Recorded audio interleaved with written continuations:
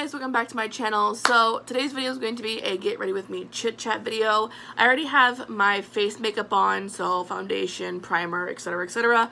That's already on my face already. I'm just going to focus on the eye look for today. So the palette I'm going to be using was sent to me through PR. This is not a sponsored video. I don't get paid for anything that you click, nothing. This is the Temptress palette from Alter Ego Cosmetics, and this is what she looks like. This is my first time using it. I have not used it yet, so I'm very excited to see how it works. Of course, I'll be honest with you guys towards the end about the review, my first impression on the palette. If I like it, if I don't, if I suggest it, if I don't, you guys will know the truth either way at the end. We have warm tones, cool tones, a really pretty blush shade right here. So you can do a lot of different looks with this palette. So I'm going to see if I can do like a really neutral look. I'm not doing anything extravagant because I'm just running errands for the day. I have some things to pick up before tomorrow. I'm starting something major tomorrow, so I want to make sure I have all my supplies and everything for that. So yeah, that's all I'm doing is doing some shopping for today what else is new for me, honestly. So if you are interested in the palette, if you like what you see, all the links and everything will be linked down below. So the first shade I'm going to go into with a fluffy brush is the shade Lust, which is right here.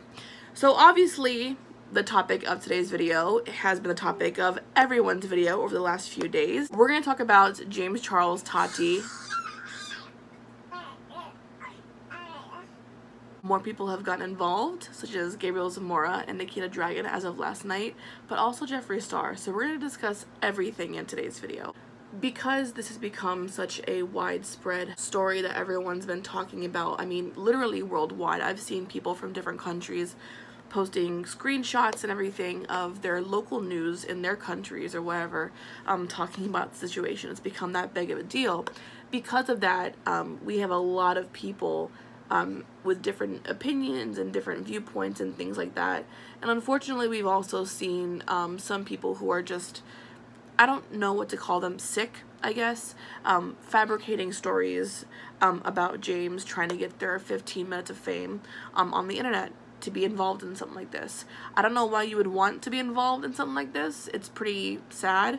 Um, but there have been people who have made up stories. As a matter of fact, there was one story when this whole thing first happened that was fabricated by someone who who said they went to high school with James um, and there was some sort of issue with a mutual friend between that person and James that James had come on to him allegedly. It, it, was later exposed this whole story was fake by the person who first said the story. So, I mean, it just, there's so much bullshit coming out of the woodworks. So take everything you see and everything you hear with a grain of salt. You know what I mean? Just, just to be safe. But we've also seen more recently um, other YouTube channels such as PewDiePie.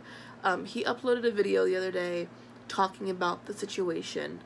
And in his video, he pretty much tried to make this whole fallout between Tati and James about the vitamins and what he had done to Tati and her business when he took up a little partnership with Sugar Bear Hair, which he claims which was strictly because they helped him with security during weekend one of Coachella.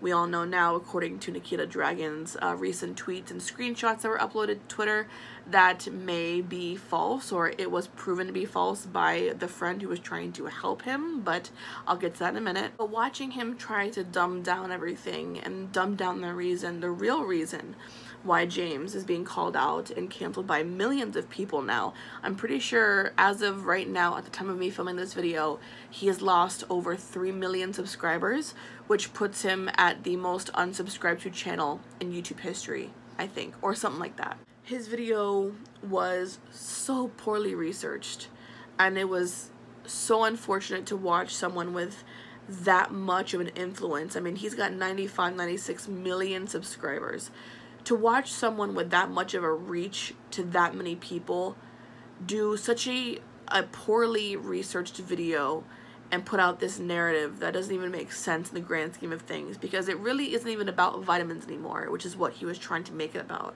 in his video. This is about everything else that has come forward because of what she had mentioned and because of the vitamins. You know what I mean? Like, yes, this all started with what happened between Sugar Bear Hair and James and what you know, Tati felt about it. Yes, it started with that, but now it's become so much more.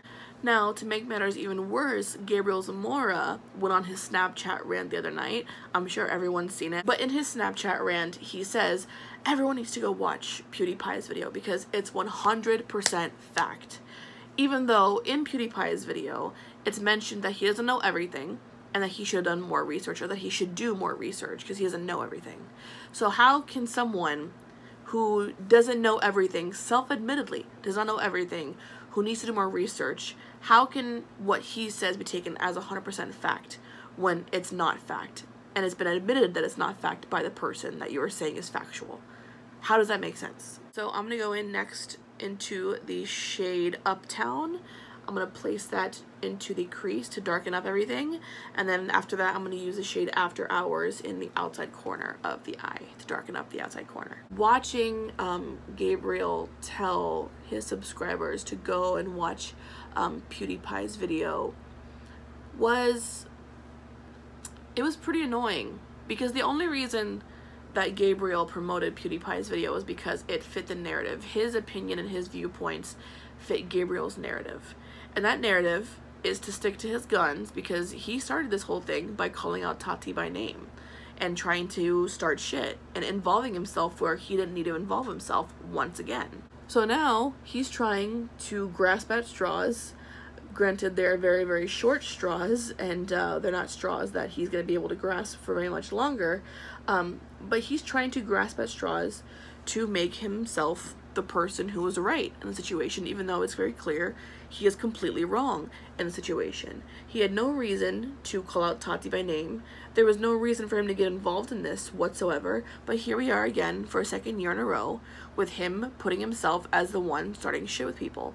Why is it that he's always the one starting shit with people? Now let's go a little bit further into this because now, besides Gabriel inserting himself into this, we have now Nikita Dragun.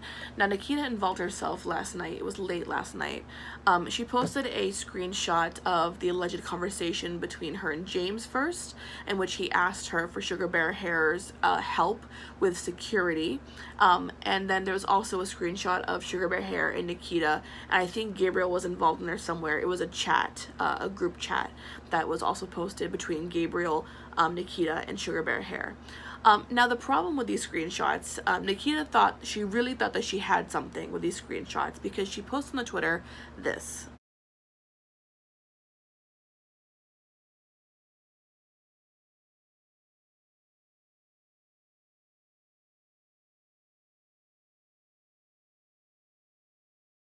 She really thought that she was going to clarify things, but she only made things 10 times more worse, if not that, a hundred times more worse than what they previously were. For James because number one these screenshots the dates don't add up to James's story. Because according to James let me go ahead and put this eyeshadow in before I talk for another 10 hours with no makeup on. According to James and his original statement on what had happened James had gotten help from Sugar Bear Hair for the first week of Coachella.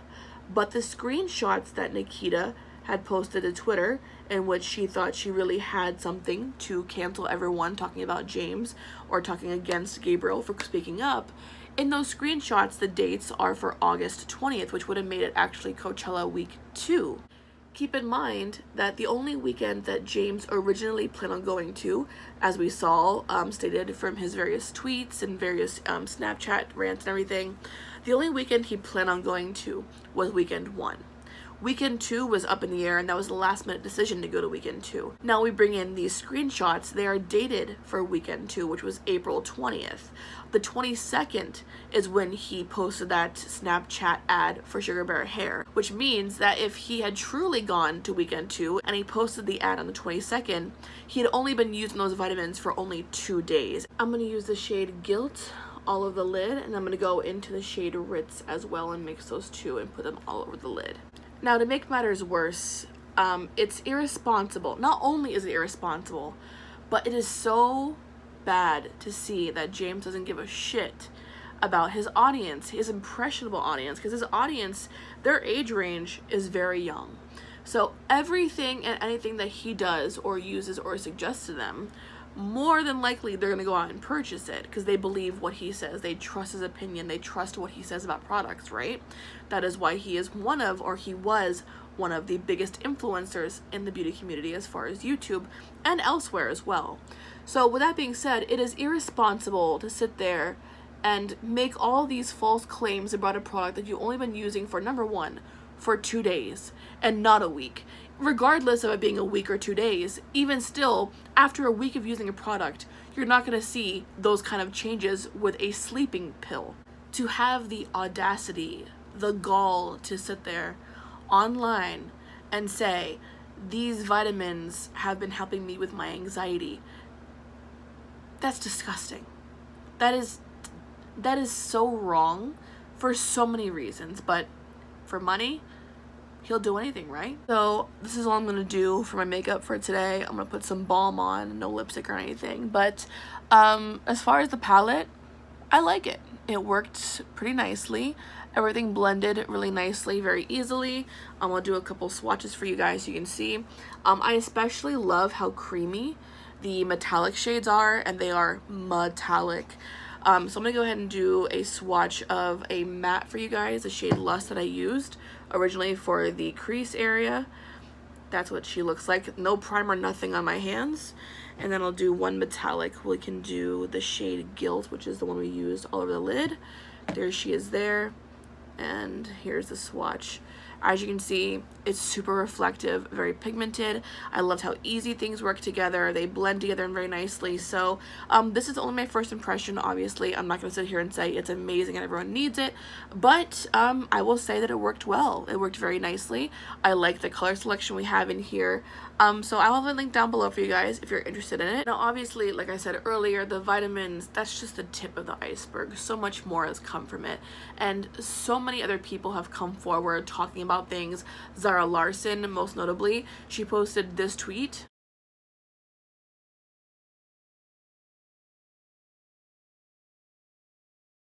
and there are still people coming forward but like i'm like i said earlier you have to take things with a grain of salt until they are proven to be absolutely 100% true. To finish off with gabriel and nikita i don't really know what Nikita thought she was gonna do when she released those screenshots but I can tell you what she did do. Uh, she made herself look even more like a clown than she has previously and especially last year's situation which she got away with unscathed. Her and Gabriel both did. Um, and the only reason why Gabriel made it out unscathed is because he made himself to look like the hero and everything. There was no reason for his involvement, nor was there any reason for Nikita's, because their involvement has only made things worse for James. I don't know if they meant to, but in doing what they've done, they've inadvertently kind of backed up Tati in a weird sort of way because of what they've posted and what they've said and they've made James look so much worse. So if I were James, I'd be on the phone saying, can you both just shut the fuck up, please? Now the third person I wanted to discuss, and the last person I wanted to discuss um, in today's video, and the third repeat uh, character from last year's situation coming into this year's situation, is of course Jeffree Star. Now, his involvement is a little weird for me. The reason being is because I don't support Jeffree. I don't like him. If you've been here for a while, you guys know that and you know why. Won't get into that. It's a whole other video. Um, but when he posted these tweets,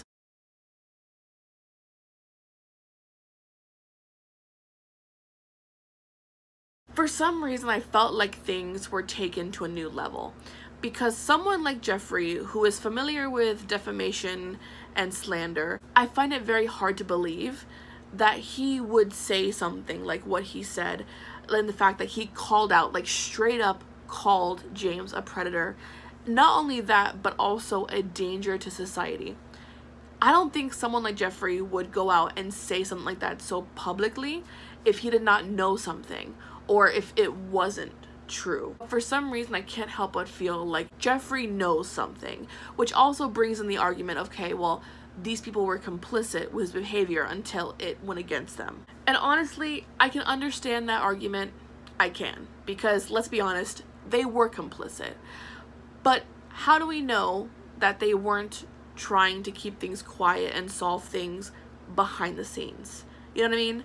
I'm not trying to make excuses, but I'm just trying to give I guess, play the devil's advocate and give these people the benefit of the doubt. Because we don't know what Tati or Jeffree were trying to do behind the scenes, if they were trying to do anything. Obviously, Tati said in her video that she tried to talk to James multiple times about his behavior towards heterosexual men who are not interested in relationships with another man. So in the last 48 hours, we saw the waiter from Seattle. This person made a video and the kid came with his receipts he came with the receipts. Now, the most damning was the screen recording, which obviously was the reason why he had to delete the video in the first place, but everyone's already seen it. Um, there was a screen recording in the original video, um, and it was of James on this kid's phone on the screen, and it's this kid um, talking to him and asking him, you know, were you talking to Gage, which is the other kid who came forward um, about James, were you talking to Gage the same time you're talking to me? And James says, yes, I was. Um, so how you feel about it is how you feel about it. But to me, that's pretty damning. Now you add that on top of Jeffree Star straight up calling him a predator online in public in front of millions of people, which I don't think he would have done had he not known something. And add on top of that the fact that he also alluded to a situation that had allegedly happened between James and someone in Jeffree's house or Jeffree's family or extended family. Something happened between those two, which leads me to believe that we are not going to see the end of this for a while. I think there's more that's going to come out, and I think it has to do with Jeffree and Nathan, or maybe even just Nathan, because as we all know, Nathan has been open about how he's very open in his sexuality. Um, he likes girls and guys. Um, and as a matter of fact, he had dated a girl prior to Jeffree, I think it was. Um, so Nathan has been very open about his sexuality. Um, but I think, allegedly, this is my little theory, something happened between James and Nathan, but that's just me. Can I just give a quick shout out to Tati real quick on how eloquently she did that video and how well she spoke and just that level of class is what I aspire to be in the future. Can I just say that? And how she clapped the fuck back at his mother by name. Said, come collect your fucking kids. Take care of your kids. Be a parent. Oh, I'm sure their entire bloodline of ancestors and everyone felt that clapback, but that's what they deserve. I've said it before and I'll say it again, everyone reaches their point, and Tati reached her point when Gabriel called her out by name. Gabriel pushed her to that point. And in regards to what has happened and what's being brought up against James and everything, it's not like this is the first time we've heard uh, James be open about how he has a thing for straight men. And it's gotten to the point where even Shane Dawson said to him in front of millions of people, and I mean millions of people, told James to quit his shit pretty much and said to change targets because it's not going to work out for him in the long run. So the argument about, you know, these people being complicit, does it hold weight to me? Not really because we don't know that Tati hasn't tried for months and months and months to try to stop James and try to derail that thought process and try to have him go somewhere else as far as, you know, who he's attracted to. If he's attracted to straight men, it is what it is. It's how you act on those feelings is what matters. And obviously, he's been acting on these feelings for quite a while and it's become a problem. So that is the biggest issue that we are now seeing um, brought up with the situation. And like I said, it, it's it'd be one thing if this was the first time we've ever heard about James having these kind of issues. But when you have people like Shane Dawson calling him out for it, we now have Jeffree Star calling him a predator, saying that he's a danger to society because of what he does, that holds weight. You may not like these people, you know, I really don't in some cases, but what they're saying means something because these people would not be saying things like this online in front of millions of people if they one didn't know something or two didn't have experience with him themselves. Something happened and I don't think this is the last we're going to hear about this. I think we have so much more to get into. I think we're going to see more people coming out with screenshots. I think Jeffree I think he is the number one person people are waiting to hear from because just his tweet alone um, it alluded to something happening between James and someone in Jeffree's house that got him banned from their house back in February. So I don't know, guys. What do you guys think about everything? Leave your comments down below. Leave your views down below. Do you guys think Jeffree's going to talk anything more about what's happened? Do you guys think this is the end of James Charles? Leave it all down below. Thank you guys so much for watching, and I'll see you guys in the next video. Love you guys so, so much. Bye.